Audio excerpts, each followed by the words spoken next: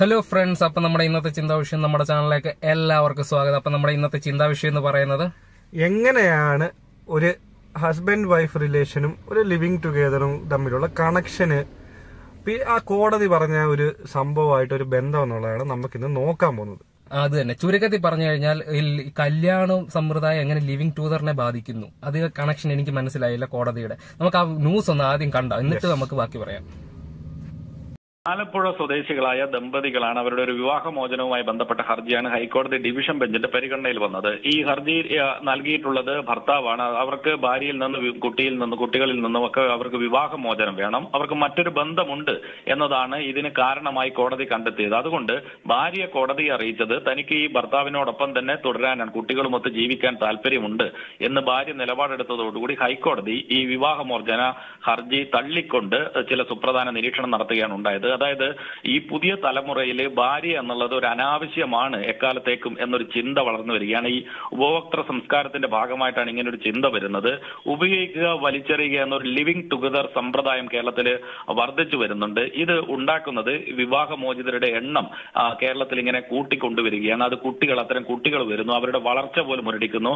അത് നമ്മുടെ സമൂഹത്തിന് ദോഷകരമായി ബാധിക്കുന്ന ഒരു കാര്യമാണ്. അതുകൊണ്ട് നമ്മുടെ കേരളത്തിലെ വലിയ വിവാഹ ബന്ധങ്ങൾക്കൊക്കെ വലിയ വില കൽപ്പിച്ചിരുന്ന ഒരു സംസ്കാരം ഉണ്ടായിരുന്നു. അതെല്ലാം തന്നെ ഈ ഉപഭോക്തൃ സംസ്കാരത്തിന്റെ ഭാഗമായി മാറുകയാണ് എന്നൊരു സുപ്രധാന നിരീക്ഷണമാണ് ഹൈക്കോടതി നടത്തിയത്. അതെ. ഇതിനകത്ത് എനിക്ക് ഈ ന്യൂസ് കേട്ടിട്ട് എനിക്ക് ഇവരുമായിട്ട് ഇവർ പറഞ്ഞ കണക്ഷനായിട്ട് ഒരു ബന്ധം തോന്നുന്നില്ല. കോടതി ഒരു ലിവിങ് ടുഗദർ എന്ന് പറയുമ്പോൾ അതവരുടെ അവരുടെ ഇഷ്ടത്തിന് താമസിക്കുന്നു ഒക്കെ അവർക്ക് അവരുടെ ആ ഒരു ഇഷ്ട- ഇഷ്ടമുള്ളവരോട് താമസിച്ച് കഴിഞ്ഞു പോകുന്നു. അത് വെളി രാജ്യങ്ങളാണെങ്കിലും നമ്മുടെ ഇപ്പൊ കൊച്ചിയിലാണെങ്കിലും ഒക്കെ നടക്കാറുണ്ട്.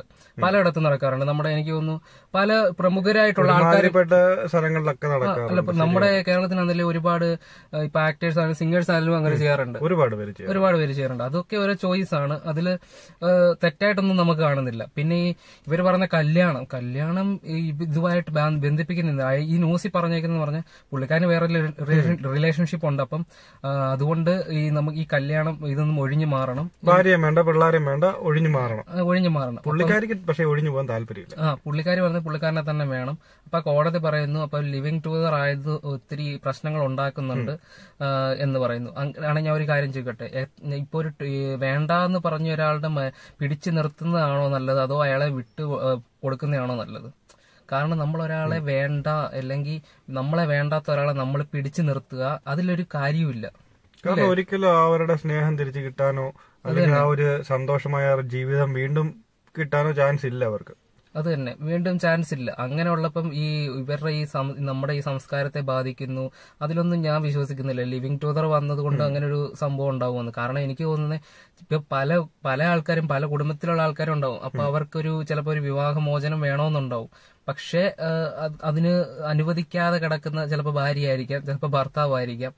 അങ്ങനെയുള്ള കേസ് എനിക്ക് എനിക്ക് തോന്നുന്നു അതാ കൂടുതലെന്നുള്ളത്. ഒരുപാടുണ്ട് ഒരുപാട് ഒരുപാടുണ്ട്. അതിൽ നിന്ന് നമുക്കിപ്പോ കേസ് നൂരിയെടുക്കാനൊക്കെ ഭയങ്കര പാടല്ലേ? കാരണം ഒരു ആണ് കേസ് കൊടുത്തു കഴിഞ്ഞാൽ അവന്റെ വസ്തു വരെ വിൽറ്റിട്ട് വേണം അവർക്ക് ചിലപ്പം ഇത് കൊടുക്കണം ആൽമണി കൊടുക്കണം പിന്നെ അങ്ങനെ കുറെ ഡെപ്പോസിറ്റുകൾ അത് ഇത് കുറെ ഫോർമാലിറ്റി ഉണ്ട്. ആ അത് തന്നെ. അപ്പം അത് വെച്ച് നോക്കുമ്പം ഈ എനിക്ക് തോന്നുന്നു ലിവിങ് ടൂതർ ആകുമ്പോൾ ആ ഒരു പ്രശ്നങ്ങളൊന്നും വരുന്നില്ല. ഇല്ല. രണ്ടുപേർക്കും അവർക്ക് മുൻപേ അറിയാമല്ലോ ഇത് എന്തൊക്കെ സംഭവിക്കും എന്തൊക്കെ ഭാവിയിൽ സംഭവിക്കാം. അപ്പൊ അത് അറിഞ്ഞുകൊണ്ടാണല്ലോ ഇവർ ഒന്നിക്കുന്നത് അപ്പൊ അതിനകത്താകുമ്പോ വേണ്ടാന്നുണ്ടെങ്കിൽ ഓക്കെ പോയി കഴിഞ്ഞു. ഇത്രയും പ്രശ്നം വരുന്നുള്ളൂ.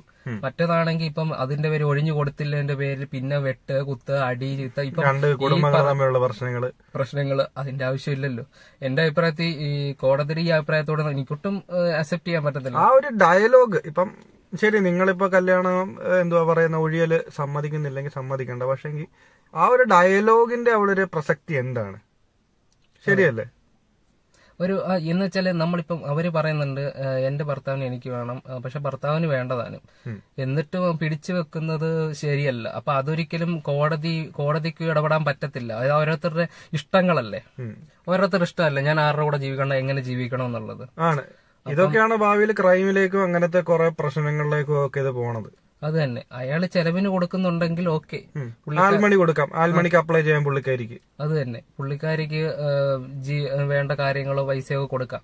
അല്ലാതെ മനസ്സുകൊണ്ട് ഈ സ്നേഹം ഇല്ലാത്ത ഒരാൾ ഒരിക്കലും ഒരുമിച്ച് കഴിയണമെന്ന് കോടതി വിധിച്ചു കഴിഞ്ഞാൽ അതൊരിക്കലും നമുക്ക് അംഗീകരിക്കാൻ പറ്റില്ല അക്സെപ്റ്റ് ചെയ്യാനും പറ്റില്ല.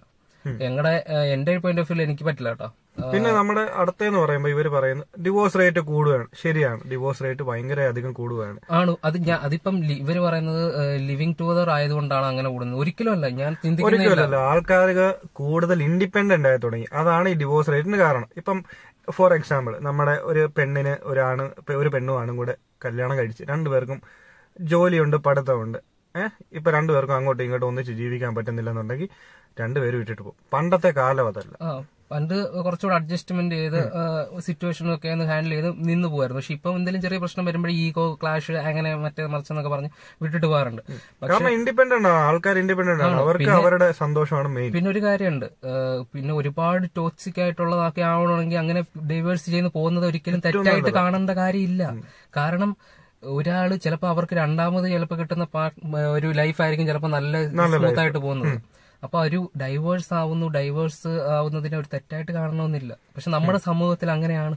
നമ്മുടെ ഈ ഈ പ്രത്യേകിച്ച് കേരളത്തിലൊക്കെ ഈ ആൾക്കാർ ഒരാൾ ഡൈവേഴ്സ് ആയി കഴിഞ്ഞ. ഓ ഡൈവേഴ്സ് ആണ്. അധികം ആൾക്കാരോടൊന്നും പറയണ്ട. അല്ലെങ്കിൽ മറ്റേ മറിച്ച് നാണക്കേടാണ്. ഒരിക്കലുമല്ല. ഡൈവോഴ്സ് എന്ന് പറയുന്ന സാധനം അത് ഇപ്പം ഒരിക്കലും നാണക്കേടായിട്ട് കാണേണ്ട കാര്യമല്ല. ഒരാൾ കല്യാണം കഴിച്ചു. അപ്പം അയാൾക്ക് നമ്മളെ അക്സെപ്റ്റ് ചെയ്യാൻ പറ്റുന്നില്ല. അല്ലെങ്കിൽ അവരുടെ കുടുംബക്കാർക്ക് നമ്മളെ അക്സെപ്റ്റ് ചെയ്യാൻ പറ്റുന്നില്ല. നമ്മൾക്ക് അവരെ അക്സെപ്റ്റ് ചെയ്യാൻ പറ്റുന്നില്ല. എങ്കിലും ഓക്കെ അത് പോകുന്നത് തന്നെയാണ് നല്ലത്. അല്ലാതെ അവിടെ കടിച്ചും കിടക്കുന്നതും അവരുടെ ചീത്ത വിളിയും കേട്ട് കിടക്കുന്നതും ഒക്കെ ആണ് പിന്നീട് നമ്മൾ കേൾക്കുന്ന ന്യൂസ് അവർ കെട്ടി ആത്മഹത്യ ചെയ്തു. ഇത്ര വർഷം പ്രണയിച്ച് കെട്ടി. അത് കഴിഞ്ഞ ശേഷം ഞാൻ ഇനിയും എന്റെ ജീവിതമായിട്ട് മുമ്പോട്ട് പോയത് എന്റെ വീട്ടുകാരോട് ആലോചിക്കാതെ ഞാൻ കെട്ടി മാരേജ് ചെയ്തു പോയി. അപ്പൊ എനിക്ക് തിരിച്ച് വീട്ടിലേക്ക് വരാൻ പറ്റത്തില്ല. എനിക്ക് എന്റെ കുടുംബക്കാരൊക്കെ കളിയാക്കും. പക്ഷെ അങ്ങനെ ചിന്തിച്ചാണ് പലരും ആത്മഹത്യയിലേക്കൊക്കെ പോയിക്കൊണ്ടിരിക്കുന്നത്. പക്ഷെ അതിന്റെ കാര്യമില്ല. വേണ്ടെങ്കിൽ വേണ്ട വിട്ടേര്. അത് നമുക്ക് പഠിത്തം പഠിത്തം നോക്കണം. അതാണ് ഇമ്പോർട്ടന്റ് പഠിത്തവും ജോലിയും നോക്കിയാൽ മതി. വേറെ നമുക്ക് ഒരാൾ പോയി കഴിഞ്ഞാൽ നമുക്ക് എന്തെല്ലാം ചെയ്യാം? നമുക്ക് സ്വന്തം കാലിൽ നിന്നുകൂടെ വർക്ക് ചെയ്യാം. അത് അതിനുശേഷം നമുക്ക് വേണമെങ്കിൽ ഒരു ജീവിതം വേണമെങ്കിൽ നമുക്ക് ഒരാളെ നല്ല രീതിക്ക് ചൂസ് ചെയ്യാം. നമ്മൾ മനസ്സിലാക്കി നമ്മളെ സ്നേഹിക്കുന്ന ഒരാളെ ചൂസ് ചെയ്യാം. ശരിക്കും അതൊക്കെയാണ് നമ്മൾ ചിന്തിക്കേണ്ട. അല്ലാതെ ഒരു ഡൈവോഴ്സ് അല്ലെങ്കിൽ ഒരു കേസ് എന്ന് പറഞ്ഞ് നമ്മുടെ ജീവിതം അവിടെ തീരുവല്ലല്ലോ. അതുപോലെ ഇനി അടുത്ത പെട്ടുപോകുന്ന ഒരു സമൂഹമാണ് പിള്ളേര്. ഇപ്പൊ ഒരു ഡിവോഴ്സ് ആവുകയാണെങ്കിൽ അല്ലെങ്കിൽ എന്തുവാ പറയുന്നത് ലിവിങ് ടുഗദർ പാരന്റ്സ് സെപ്പറേറ്റ് ആയി പോവാണെങ്കിൽ ഏറ്റവും കൂടുതൽ അനുഭവിക്കാൻ പറ്റുന്ന പിള്ളേരാണ്. കാരണം ഒരിക്കലും ഒരു പാരന്റ്സിന്റെ അത്രയും ആ, എന്തുവാ പറയുന്നത് അടുത്ത പാരന്റ്സിന് അതായത് മേ ബി സ്റ്റെപ്പ് ഡാഡ് ആയിക്കോട്ടെ സ്റ്റെപ്പ് മോം ആയിക്കോട്ടെ അവർക്ക് ഇവരെ സ്വീകരിക്കാൻ പറ്റൂല അല്ലെങ്കിൽ സ്നേഹിക്കാൻ പറ്റൂല. അങ്ങനെ സ്നേഹിക്കുന്ന ആൾക്കാരില്ലെന്നല്ല. ഉണ്ട്. പക്ഷെങ്കിൽ ഒരു നയന്റി പെർസെന്റും റിയൽ പാരന്റ്സിനെ അവർക്ക് അത്രയും ഒരു കെയർ കാര്യങ്ങളൊക്കെ കൊടുക്കാൻ പറ്റത്തുള്ളൂ.